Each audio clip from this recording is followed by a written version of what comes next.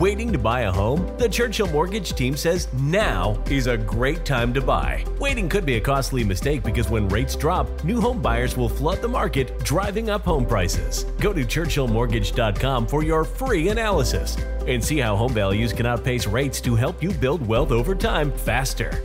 This is a paid advertisement. NMLS ID 1591. NMLSConsumerAccess.org. Equal housing lender. 1749 Mallory Lane, Suite 100, Brentwood, Tennessee 37027.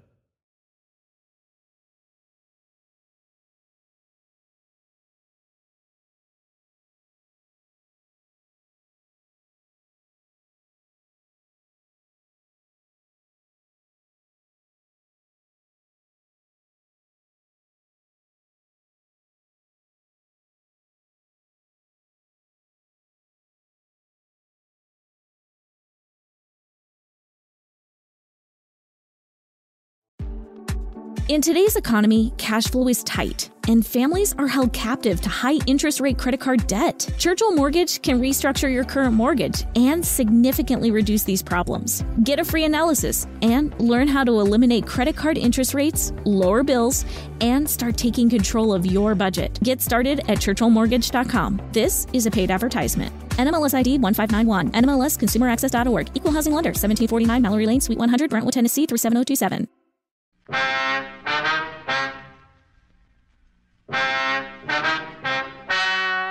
Ladies and gentlemen, the story you are about to hear is true. Dragnet is brought to you by Chesterfield, made by Liggett and Myers, first major tobacco company to give you a complete line of quality cigarettes.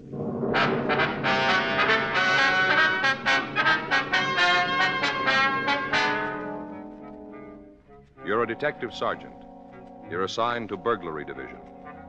You get a call that an important piece of religious art has been stolen from the oldest church in Los Angeles.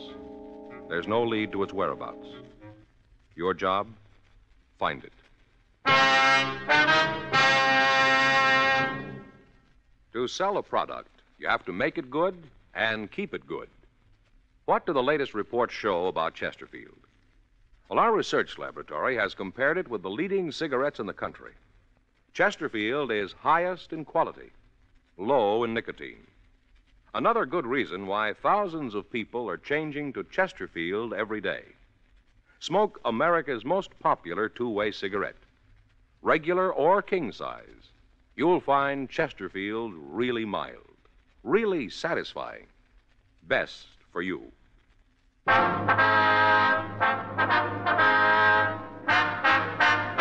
Dragnet, the documented drama of an actual crime.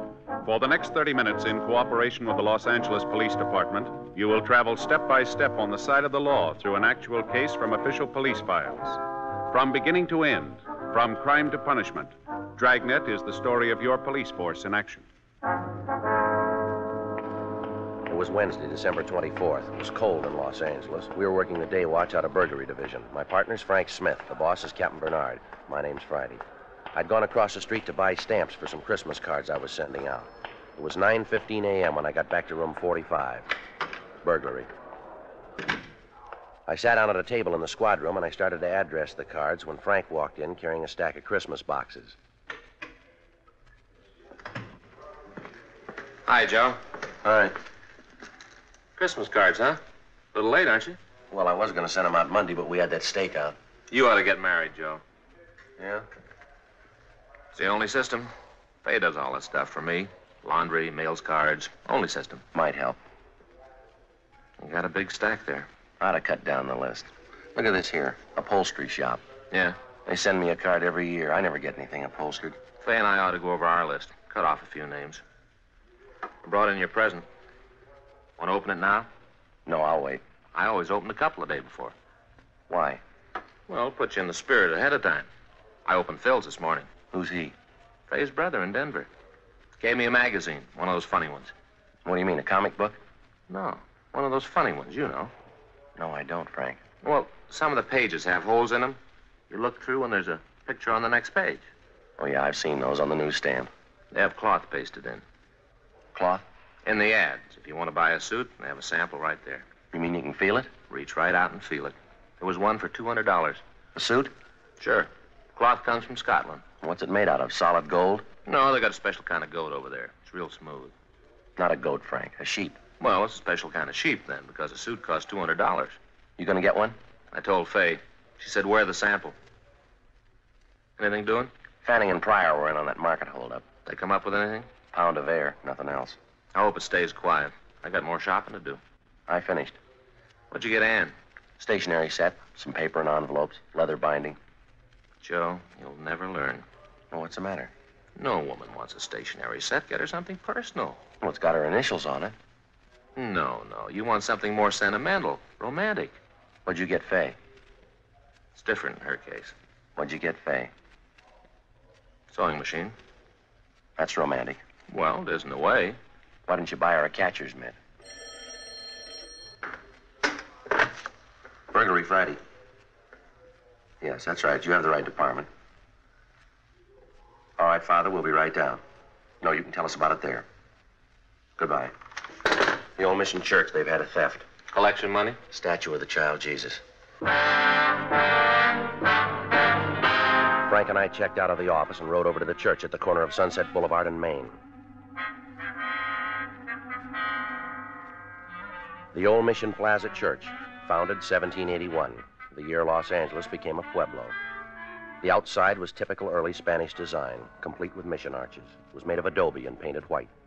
They called it the Queen of the Angels. The Padres from down in Mexico built it. The devout Mexicans in town still attended services there. 10:05 a.m. Frank and I crossed through the courtyard. It used to be the old stable, but the Spanish priest changed all that when it became a mission. Stonemasons paved the stable floor and made it a courtyard. They planted grapevines, trees, and flowers. A young priest crossed the courtyard to meet us. He'd been sitting on a stone bench reading his morning prayers, as priests had done here for 172 years. We asked for Father Xavier Rojas, who'd communicated with us. We were told he was inside. We entered a side door. The church seemed to glow with the hundreds of votive candles flickering on both sides of the altar and at the shrines throughout the church. It was empty except for a few people praying. Surrounding the main altar were several old oil paintings in gold frames. The air was heavy with the scent of Advent flowers. We found Father Rojas up near the sanctuary, looking at the nativity scene. He told us about the crib. It was a $70 duplication of the scene at Bethlehem. The parishioners had taken up a collection for it 31 years ago. It was put up every year on December 22nd and taken down after the holy season. It was beautiful, except that one of the shepherds had lost an arm, the sheep was old and cracked, and the infant Jesus was missing. Father Rojas led us back into the sacristy. I'm sorry to bother you, men. It's all right, Father. Especially now, the holiday season. We cash our checks, Father. You want to tell us what happened? Or what you think happened? I discovered the statue was missing right after the six o'clock mass. You say the six? Yes. I started over to the rectory and stopped by the crib. Was the statue there before Mass? I don't know, but it was there last night, How late is the church open? all night. You leave it wide open so any thief can walk in? Particularly thieves, Sergeant. You say it was there last night, Father. How late? Ten or eleven o'clock, we had confessions. No one saw it after that? One of the altar boys, he says it may have been there. He thinks it was. Did he see it? He's not sure. What's his name? Pardon me.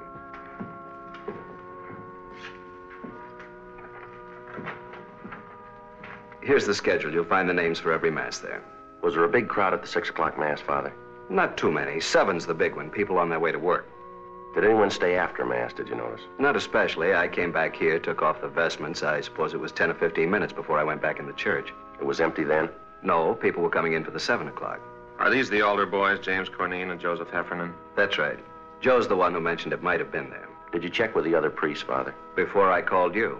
None of them knows anything about it. Just for a check on the pawn shops, how much is the statue worth? In money? Well, that's the point in pawn shops, Father. Only a few dollars. We could get a new one, but it wouldn't be the same. We've had children in the parish. They've grown up and married. It's the only Jesus they know. We understand. And we've had children who died. It was the only Jesus they knew. So many of the people who come here are simple people. They wouldn't understand, Sergeant. It would be like changing the evening star. We'll do our best, Father. That's why it would mean so much to have it back for the first Mass on Christmas. It's not very long, Father. Less than 24 hours. If anything turns up here, you know where to get in touch with us. Yes. Sad, isn't it? How's that? In so short a time, men learn to steal. Yes, but consider us, Father. Us? If some of them didn't, you and I'd be out of work. 10:50 a.m. We notified pawn shop detail. Frank and I checked out the two altar boys. The first one, James Cornine, said he knew nothing about the missing statue. The second one, Joseph Heffernan, was not at home. His father said he had a part-time job, but he'd have him get in touch with us right after lunch. By 11:30 a.m., we'd run out of book procedure. We had a man to find. Our only clue, he'd been to church. 11:33 a.m. We checked the phone books for the names of religious stores in the area. Two of them were closed. We tried the third. When we got there, the only person in the store was an elderly man sitting by a table. In front of him was a large, beautifully carved chess set.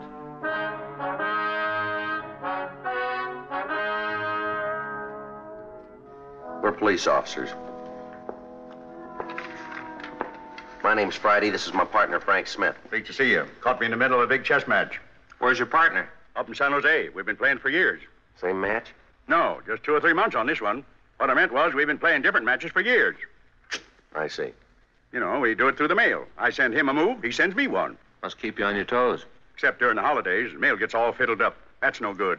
Guess not. Slows things down. That's no good. I like to catch him off guard. You, Mr. Flavin? How do you know? We never met. Your name's on the window out front. Mr. Flavin, we checked the other two religious stores in this neighborhood. They're closed. This is the best one anyway. 50% European items. We're checking the stores around the Mission Church. For what? Statue of the Child Jesus. Do you have one we could look at? Sure. No, sir, a larger one. You don't want a larger one, unless it's for a church. That's why you want a larger one. Could we see it, please?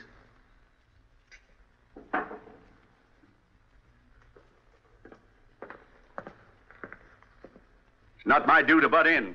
But unless you live in a big place, this'll make your living room all the kilter. Yes, sir.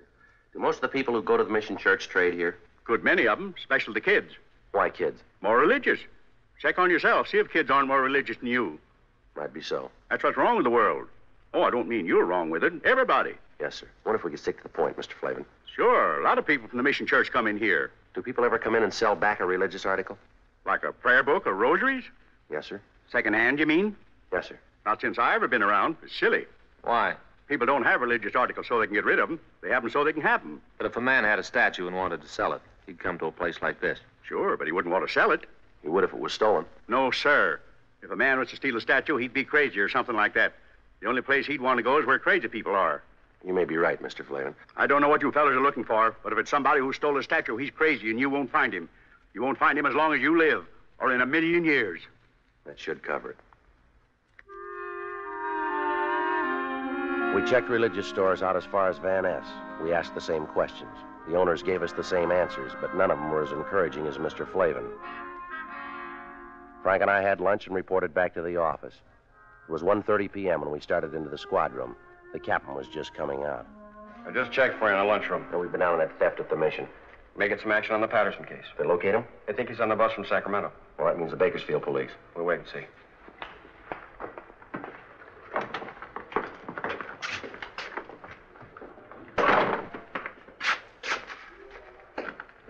One of you fellows Sergeant Friday? He is. I'm Joe Heffernan. My father said you wanted to see me. Well, sit down, son. You didn't have to come in. A phone call would have worked. My father said to get on over. He says that any kid that uses phones is lazy. We want to ask you about this morning. You serve 6 o'clock mass? Yes, sir. I'm senior boy, so I get the sixth. You're senior and you take the early trick? Yes, sir. That way, if you receive communion, you get to have breakfast sooner. Father Rojas says you think the statue was there before mass. I didn't look, but I have a feeling it was there. A feeling? You know, how you have a feeling about something, but you're not sure. Did you stay around long after mass? I put out the candles and hung up my surplice. How long would that take? About five minutes, maybe. Did any of the people at mass stay on? Some always do, especially ladies. Oh? Maybe they don't finish in time, or else they start new prayers. I don't know. So when you left, there were still some women there. No, sir. That was at first. After I went back to the sacristy, there was only this one man. What man? He comes at six o'clock all the time. Do you know his name? No, sir. But he works down in Olive, you know, paint shop, where they paint signs. Could you describe him? Sort of medium. He was wearing a suit that didn't match. Didn't match? You know, different pants than coat. How about his age? Oh, he's pretty old. Take a guess. About 40, maybe. There's nothing particular about him. Then why'd you notice him? I've seen him before. And the bundle, I guess. The bundle? Out in front. I saw him when he was coming out. He had this bundle, and he almost dropped it. How large a bundle? It's hard to say. Come on, son. Was it large or small? The size of the statue? About that big. Yes, sir.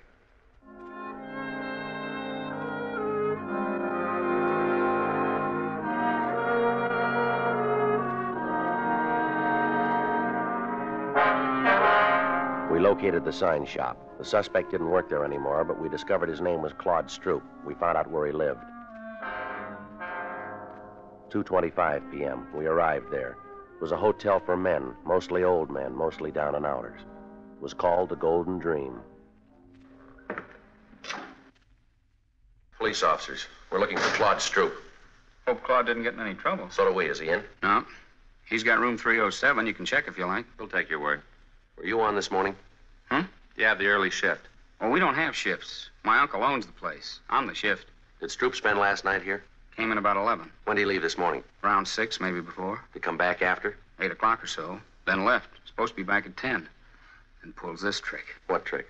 Our program. He knows the other fellas need him. Program? You're here at the hotel. Every Christmas we have a program. Put up a tree and sing. They're mostly old fellas. Singing like that makes them remember back when they were kids. Then Jimmy Finn comes on. Jimmy Finn? He shares number 409.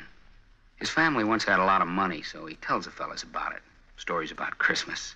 How they had this big log, and his grandfather used to start it up. And after dinner, everybody turned over his plate, and there underneath was a $20 gold piece. Brand new one. When Stroop came in this morning, did he have a bundle? I didn't see him come in. You said you saw him. I saw him go out after, but not come in. When was that? Eight. If you want to look for a bundle, I could give you his key. We don't have a warrant. It's all right. I know about police. It's all right with me. It's not with us. I didn't mean that. I, I just meant it was all right with me. Good King Wenceslas looked down on the feast of Stephen. When the They were three old men. We couldn't tell how much better they would have been with Stroop singing the fourth part, but somehow you didn't care. This was Christmas at the Golden Dream, and it sounded fine. Frost was cruel, when the poor man came in sight, gathering winter fuel. This is the last rehearsal. I got most of the songs down pat. Sounds pretty good. Yeah, that's why it's a shame Claude isn't here. He's tenor, and they need him to make it sound just right. Does Stroop have a job? No, sir. He used to have jobs. Not much lately, though. Did he say where he was going? No, he should have. The fellas need him. When he comes in, will you call us? Sure, and uh, not say anything to him. That's right. I hope it's nothing serious for Claude. Fella's troubles ought to be over. Troubles? Way back. It wouldn't count now. Tell us anyway. I don't know much about it. As much as you know. Now, come on. It was something back where he used to live. He robbed somebody or something. What else? That's all. It was a long time ago, way far back. But he forgot it all, the robin and everything. No, not quite. Hmm? He remembered it this morning. God rest ye merry gentlemen, let nothing you dismay. For Jesus Christ our Savior was born upon this day to save We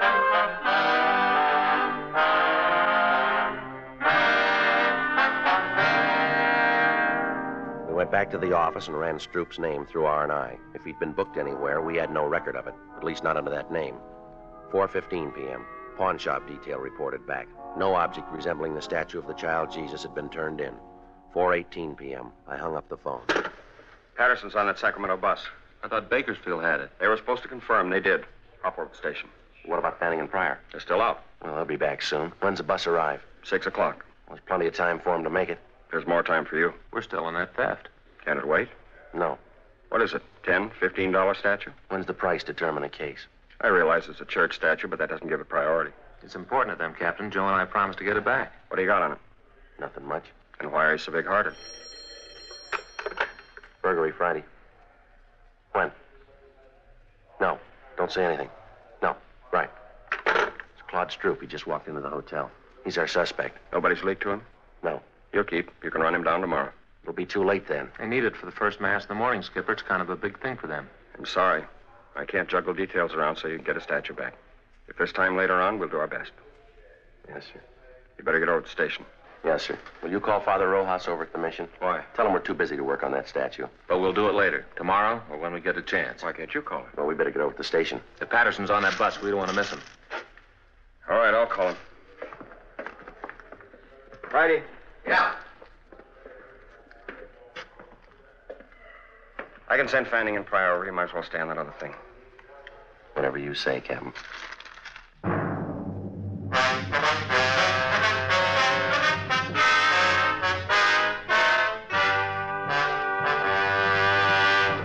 You are listening to Dragnet, the authentic story of your police force in action. There are good reasons why thousands of people are changing to Chesterfield every day. Why Chesterfield is the largest selling two way cigarette in America. Why Chesterfield is best for me and best for you. People these days want facts. When you want people to use your product, you have to tell them what effect it has on people who do use it regularly. That's why a doctor has examined for almost two years a large group of Chesterfield smokers. 45% of them have, on the average, been smoking Chesterfields for well over 10 years. What is the effect on these people from smoking Chesterfield? No adverse effects to the nose, throat, and sinuses, says the doctor. Consider Chesterfield's record with these smokers, with millions of other smokers throughout America. Another good reason for you to change to Chesterfield. Regular or king size, Chesterfield is best for me, best for you.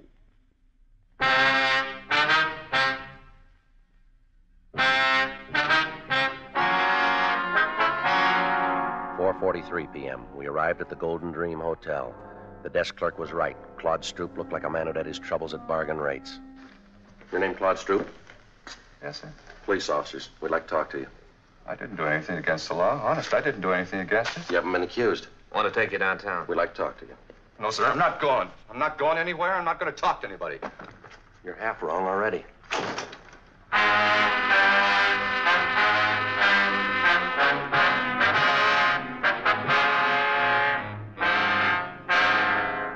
Five fifteen p.m. We returned Stroop for interrogation. He kept his word. He refused to talk. 6.05 p.m. Frank called Fay, told her he'd be a little late. Stroop didn't move for a whole hour. He sat and stared, but he didn't talk. 6:40 p.m. We got a final report from pawn shop detail. The shops were closed. There was no statue. Stroop still hadn't talked. Don't you ever want to go home, Stroop? If I was to talk, he wouldn't let me go. Depends on what you'd say. I'd say it wrong, and I wouldn't get home. You won't this way either. I'd like to go. You can bet on that. This is the seventh year we had the program, and I never missed a one. Not a single one. Why don't you tell us what happened, Stroop? How would I know you'd let me go? You wouldn't. I might as well anyway. All right, what happened from Mass on? Well, there was Mass. I came out and started down toward the hotel. Back up. I left my stuff at the hotel, and then I picked up George's car. I didn't steal it. He said I could have it any time I wanted. Only this time I didn't ask him. I took it and started out. Yeah. I should have asked, but I just didn't. I went over to Grand Avenue for the Christmas bulbs for this fellow sells them secondhand. It was coming out of the lot that I did it. Yeah. The bumper must have caught the other car. Didn't leave too big a dent, but there was this long scratch. I got out and tried to wipe it off with my handkerchief. You know, spit on it like. Only it didn't do no good. I didn't think anybody saw. I don't know how you fellows found out about it. I'll check auto records. Right. Stroop, we didn't bring you down here to talk about that. You didn't? No. There's a statue missing from the church. The statue of the child Jesus. You mean I took it? You took a bundle out of church? Yes, sir. That was my other pants for the program tonight. I had a place sewed up and there was a button off. You can check. But I wouldn't take a statue. I don't think you would either. He's clear at auto records. Go on home. For the program? You mean it's all right? Good night, Stroop. Good night.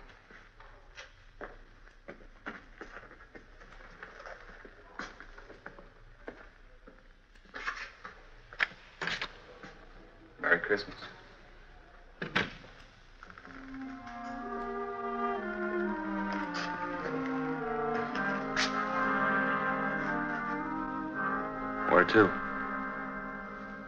Where We could stay and work on it tonight.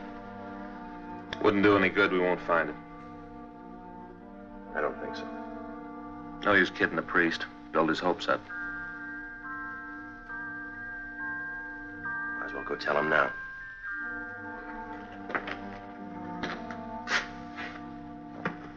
Merry Christmas.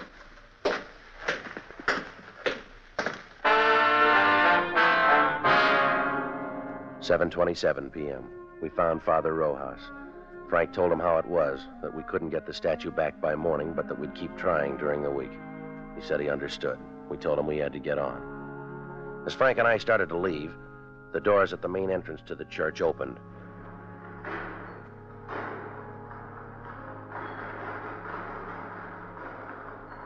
It was a good 200 feet away. It was hard to be sure, but it looked like a small boy drawing a bright red wagon behind him. When he got closer, you could see he was no bigger than a pint of milk. He was a luminous eyed little Mexican boy with a face as young as yesterday. The priest seemed to know him. Paquito? In the back of the wagon was the missing statue of the child Jesus. He picked it up gently and walked up to the priest. Padre Rojas? He just stood there looking up at Father Rojas. It's Paco Mendoza, the boy from the parish. Ask him where he found it. ¿Dónde lo encontraste? No lo encontré, lo cogí esta mañana. He didn't find it, he took it. Why? ¿Por qué? Todos los años Paquito rezó por un camioncito rojo. Este año Paquito rezó al niño Jesús. Yo prometí al niño Jesús el primer viaje en mi camioncito. He says all through the years he's prayed for a red wagon. This year he prayed to the child Jesus. He promised that if he got the wagon, the child Jesus would have the first ride in it. Vendrá el diablo para llevar a Paquito. He wants to know if the devil will come and take him to hell. That's your department, Father. No el diablo. Jesús ama a Paquito mucho. We crossed over to the sanctuary. With the help of Father Rojas, the young boy replaced the infant Jesus in its rightful place, the crib in the nativity scene. Frank and I could have been wrong, but the small plaster statue seemed to approve.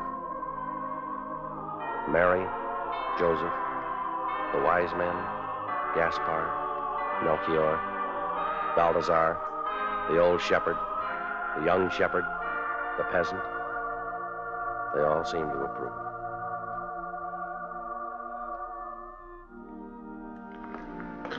Vuelve a tu casa, Paquito.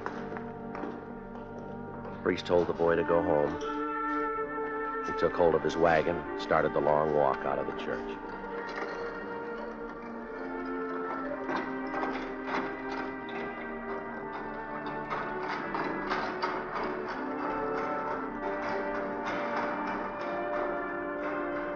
Wasn't much we could say.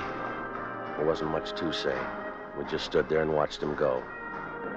Halfway up, he turned to look back. And he went on out.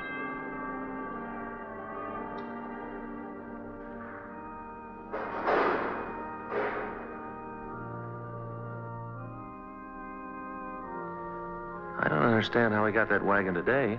Don't kids wait for Santa Claus anymore? It isn't from Santa Claus. The firemen fix old toys and give them to new children. Paquito's family, they're poor.